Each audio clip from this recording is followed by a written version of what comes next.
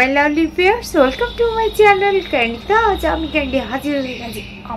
নতুন একটা মজার ভিডিও হ্যাঁ বন্ধুরা, তোমরা কি কিছু টাইটেলটা দেখে কেস করতে পারছ?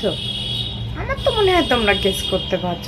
ইয়েস অনেকদিন পর জগন্নাথ দর্শনে যাব। আসলে জগন্নাথ যদি কাউকে না টানে, কখনোই সম্ভব না। আজ দু বছর ধরে প্রতিবার আমরা প্ল্যান করছি জগন্নাথের কাছে যাব, কিন্তু সম্ভব হয় না। তো এবার ডিসিশনটা নিয়ে সুযোগটা হয়েই গেল জগন্নাথ দর্শনে যাওয়ার। তো তার জন্য এখন সমস্ত প্রিপারেশন পর্ব চলছে ছেলেদের, যদিও এক্সাম এখনও শেষ হয়নি। এক্সাম শেষ হলে আমরা রওনা দেবো। তো এই সুযোগে আমি কিন্তু আমার ব্যাগটা গুছিয়ে নিচ্ছি, একটু ফাঁকা টাইমে এখন। আর হ্যাঁ বন্ধুরা, যেহেতু আমি সবারটাই আমাকে গোছাতে হবে, তো কি আর করার? একটু একটু করে গুছিয়ে নিয়েছি তো চলো, আমি তোমাদের সঙ্গে আমার ব্যাগটা শেয়ার করে নিই ঝটপট করে। আমাকে বলা হয়েছে এই ট্রলিটার মধ্যে মানে আমার বর নেবে, কিন্তু আমি কিন্তু তার আগে নিজেই প্যাক করে নিলাম, ওরা অন্য ব্যাগে নেবে। ভাই, আমার তো যা ড্রেসের অবস্থা দেখছি, আমার মনে হচ্ছে এতে হওয়া বড় কষ্ট। একটা একটা করেই ড্রেস নিলাম। কিন্তু ট্রলি তো ভরে গেল। যাই হোক, আমি যখন একটা ড্রেস পরবো, তখন তোমরা দেখবে যে আমি কী কী ড্রেস নিয়ে গেলাম।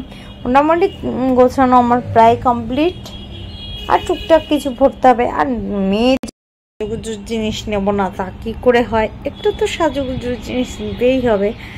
তো বন্ধুরা, তোমরা ভিডিওটা কিন্তু একদম টেনে দেখবে না। পুরীতে গিয়ে জগন্নাথের দর্শন করার পর আর কোথায় কোথায় ঘুরবো এটা সব কিছু তোমাদের সঙ্গে শেয়ার করব। আর এর জন্য এটা দেখতে হলে ভিডিওটা অবশ্যই দেখবে, জানবে। আর যদি তোমাদের কোনো কমেন্টস থাকে, আমাকে অবশ্যই জানাবে যে আমি কোনো জায়গা মিস করে গেলাম কিনা। তাহলে আবার নিশ্চয়ই জগন্নাথ দর্শনের জন্য চলে আসব পুরীতে। তোমাদের দেওয়া সাজেশন অনুযায়ী সেই জায়গাগুলো আমি ঘুরতে চলে যাব। জয় জগন্নাথ, দেখতে থাকো ফ্রেন্ড অবশেষে কিন্তু চলে আসলো পুরী যাওয়ার সে কাঙ্ক্ষিত মুহূর্ত। আমরা সবাই রেডি প্যাকিং কমপ্লিট শুধু খাবার পার্সেল করতে বাকি।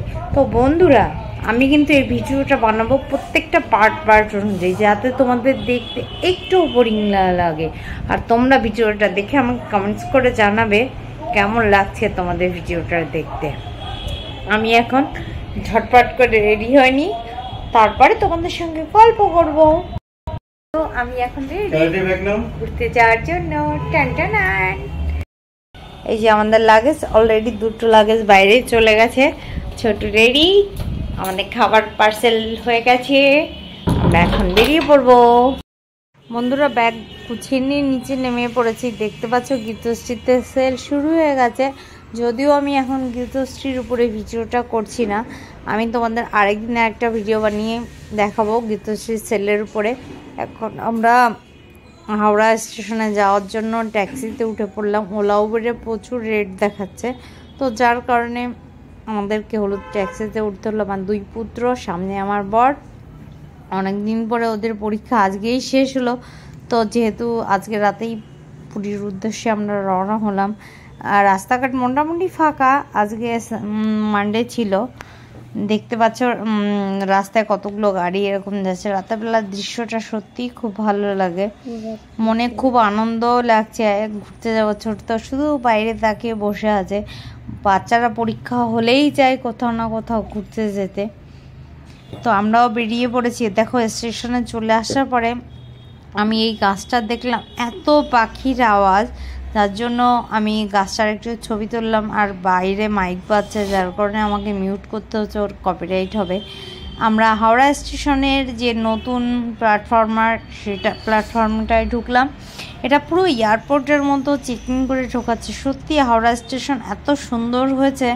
মানে মনটা জুড়িয়ে যায়। কত লোক দেখো, এত রাতেও আনাগোনা যে যার গন্তব্যে ছুটছে। আর ছোট বারবারই আমাকে প্রশ্ন করছে, মা, এত বড় বড় ফ্যানগুলো কে বানিয়েছে? আমি বলছি, দেখ, এত বড় ফ্যান না হলে এত লোককে কি করে হাওয়া দিত বল? যাই হোক, ট্রেনে উঠে গিয়ে দেখতে পাচ্ছ, সঙ্গে সঙ্গে আমার পুত্রদের খাওয়া শুরু হয়ে গেছে। রাতে ওদের জন্য আমি বাড়ি থেকে পোলাও আলুর দম আর হচ্ছে পনির করে নিয়ে এসেছিলাম তো ট্রেনে উঠে বলছে, আগে খেতে দাও। যাই হোক খাওয়া দাওয়া পর্ব চলছে। তোমাদেরকে হাই করা আছে, এখন খেতে ঘুমিয়ে পড়ব। আমার ভীষণ ঘুম পাচ্ছে। আমি সবাইকে গুড নাইট বলছি তোমাদের গুড নাইট এই দেখো, সকাল হয়ে গেল বন্ধুরা। গুড মর্নিং রিদমের কিন্তু ঘুম পড়েনি, এই জন্য বসে বসে ধিম হচ্ছে। আমরা বসে আছি, এখনই নেমে পড়ব। চলে আসলাম পুরী স্টেশনে। মনটা ভীষণ ভালো লাগছে। এখন আমরা হোটেলের দিকে রওনা হব। আমাদের আগের থেকেই কলকাতায় বসে আমরা হোটেল বুক করেছি, হোটেল ভজনী। এটা তারা প্যালেসের পাশে, একদম বিচের সামনে। রুমটাও খুব সুন্দর নিট অ্যান্ড ক্লিন দুটো সোফা, একটা সেন্টার টেবিল একটা ড্রেসিং টেবিল একটা বড় আলমারি। তারপরে বাথরুমটাও দেখো কত সুন্দর। আমাদের রুম ভাড়া লেগেছে তিন হাজার একশো টাকা। তার কারণ হচ্ছে যেহেতু আমরা চারজন আমার দুই ছেলে আসলে আলাদা এখনও থাকতে পারে না। তো এই জন্য কিন্তু নর্মালি যদি তিনজন হয় তাহলে হয়তো পঁচিশশো ছাব্বিশশো টাকায় রুম ভাড়া পাওয়া যাবে। পুরীতে একটাই সুবিধা সব রকম রেঞ্জেই পাওয়া যায়। আর এটা হচ্ছে ব্যালকনি এখান থেকে সমুদ্র দেখা যাচ্ছে। আমি চলে আসব আবার নতুন ভিডিও নিয়ে। Bye bye